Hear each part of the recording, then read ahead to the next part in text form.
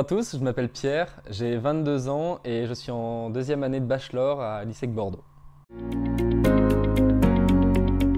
Euh, je connaissais pas du tout déjà le monde de la communication parce qu'il faut savoir qu'avant j'ai fait un DUT euh, génie mécanique et productique, donc vraiment euh, rien à voir avec la communication et tout ça. donc je suis arrivé en septembre à l'ISEC Bordeaux. C'était vraiment une découverte. tout le monde était bienveillant, tout le monde était ouvert, sociable.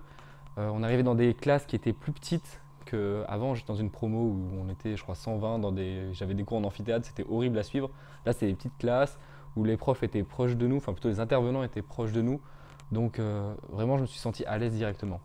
En fait, les profs étaient disponibles, c'était, euh, ils ont vraiment une envie euh, d'être à notre disposition.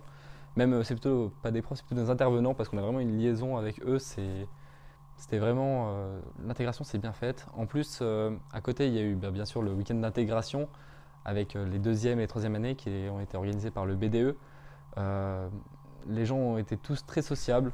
On a pu, euh, à travers des jeux, à travers des soirées, comme par exemple, bah, euh, il y avait des soirées à thème comme euh, la soirée noir et blanc, ou bien la soirée à, thème néon, qui ont permis l'intégration bah, qui ont permis en fait de, m'intégrer, de connaître pas mal de gens, que ce soit dans ma promo ou des deuxièmes années.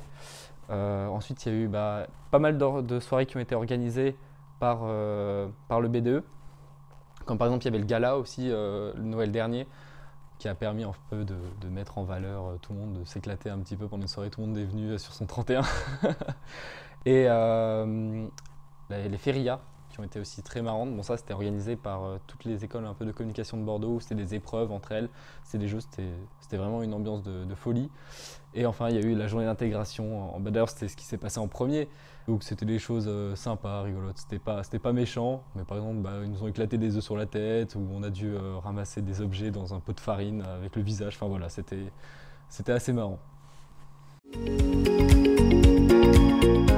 Les moments les plus marquants de la première année, euh, je dirais que c'est déjà mes workshops. Euh, les workshops, ça m'a permis de découvrir plusieurs choses comme euh, la photographie, la, musique et un peu comment réaliser une vidéo et aussi l'art, enfin plutôt comment on détermine le prix d'une œuvre d'art et comment on détecte les œuvres d'art et à quoi ça sert dans la publicité. Pour ce qui est du workshop musique, ça a été mon préféré. on a dû réaliser une vidéo, du coup on est parti avec mon groupe carrément sur la dune du Pilat faire un tournage un matin.